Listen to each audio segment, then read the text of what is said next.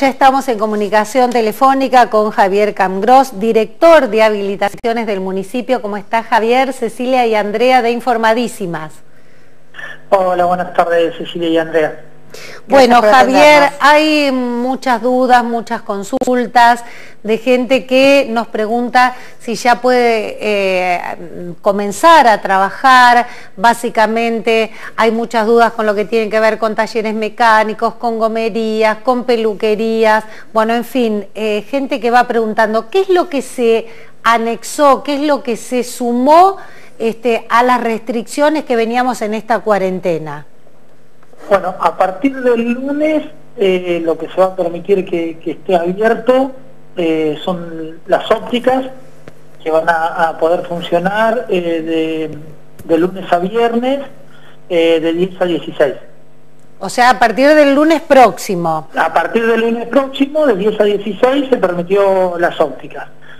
que bueno, siempre que se presenta a ver las personas con la receta o la indicación médica o, una urgencia porque bueno se le rompieron se le rompieron los anteojos. Claro. estamos hablando siempre de anteojo recetado no de un lente de sol no que cualquiera puede ir a comprarse un anteojo de sol no hasta ahí no llega.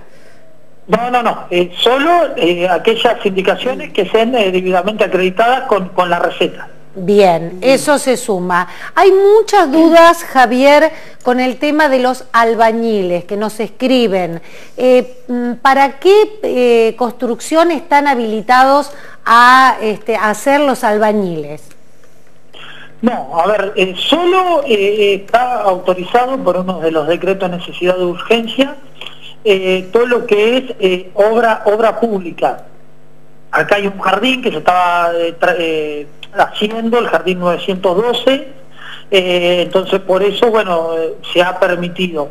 Eh, hasta ahora no, no debería haber ninguna otra obra, salvo, bueno, algo que esté haciendo uno en su casa, que no implica que haya un albañil, alguien que pueda saber el oficio y lo pueda estar arreglando.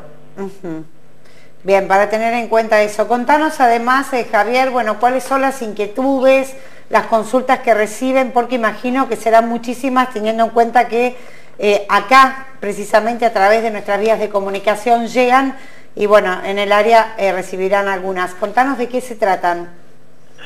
Sí, mucho, bueno, como preguntaban, de los abandones, todo lo que es la parte de oficios, por ahí, eh, que son los, los que más le, están, le está contando, porque por ahí es el, el, empleado que va trabajando el día a día, por ahí son las consultas más, todo lo que tiene que ver el tema de peluquerío, lo que tiene que ver a los centros de belleza, eh, eso por ahí es la demanda, la demanda mayor, mayor demanda que hay y son mayores las consultas.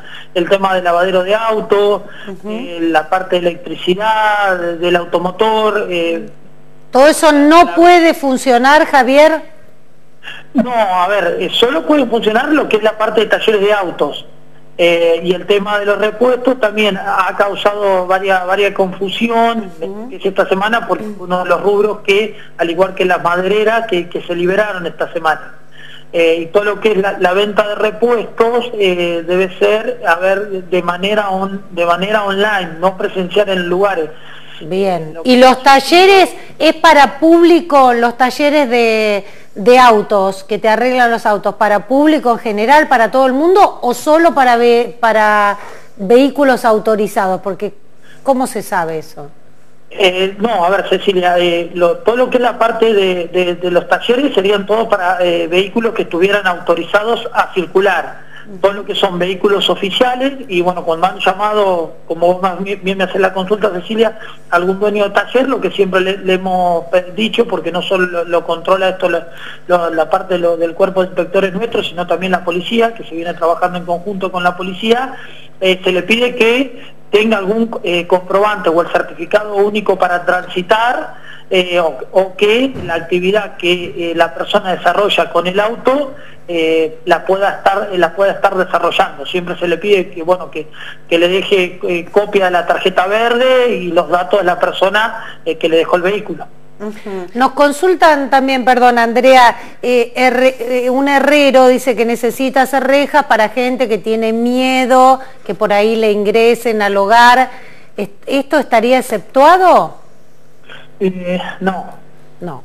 una redía podría funcionar eh, si está relacionado con el agro, que se rompe alguna, alguna maquinaria, algún equipo de riego, eh, eh, todo lo relacionado, algún elástico de algún camión, eso han estado llamando algunos, algunos herreros que, son alguna tarea muy específica desarrollado a los rubros que están habilitados para, para poder trabajar.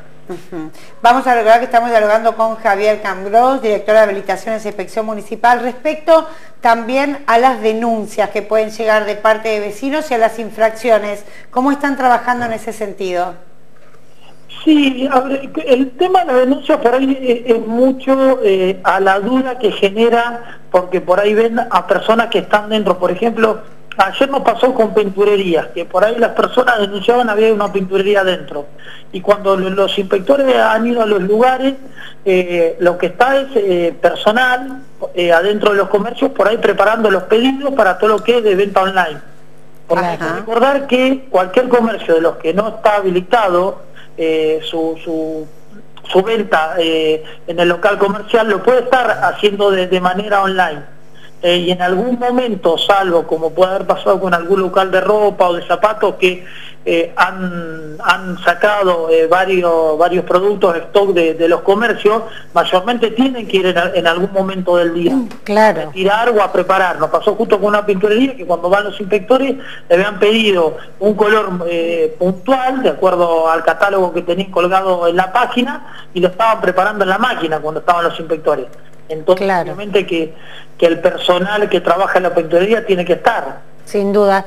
Eh, Javier, eh, nos consultan que han visto muchos estacionamientos, en, eh, sobre todo en el centro de la ciudad, abiertos. Nos consultan si pueden estar funcionando. Sí, bueno, los estacionamientos de, con, el, con el último decreto, el, 9, el 958, quedaban incluidos los estacionamientos para que puedan funcionar. Eh, en el horario eh, de 7 a 14 eh, para que puedan entrar y salir los vehículos y después bueno lo que se le ha permitido que tenga una guardia mínima porque muchos trabajan con personal que trabaja en el banco y los bancos están abiertos hasta las 17 o con algunos comercios los que están habilitados en el centro que trabajan hasta las 18 entonces se le ha permitido que tengan una guardia mínima para que los vehículos los puedan sacar después de las 14 Javier, bueno, sabemos que están trabajando este, a full todo el día. Eh, ¿Algún teléfono que nos puedas dar donde la gente pueda comunicarse? Sí, eh, a partir de esta semana el personal administrativo se, sumó. Eh, vamos rotando en la dirección, así que el teléfono de la dirección que es el 443-1656, que es el de inspección general, o el de habilitaciones, que es el, el triple 8342. Bien, en, horario habitual, digamos, que hacían eh, con antelación.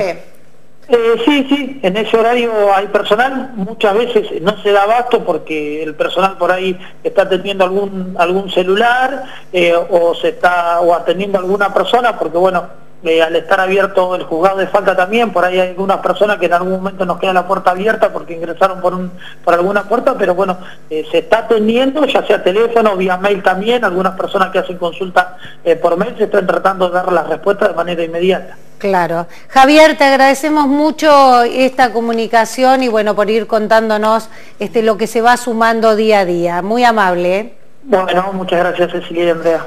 Gracias. Javier Cangros, director de habilitaciones. Bueno, sabemos que están con muchas, muchas consultas diarias, que la gente llama, este, bueno, para saber si están incluidos o no.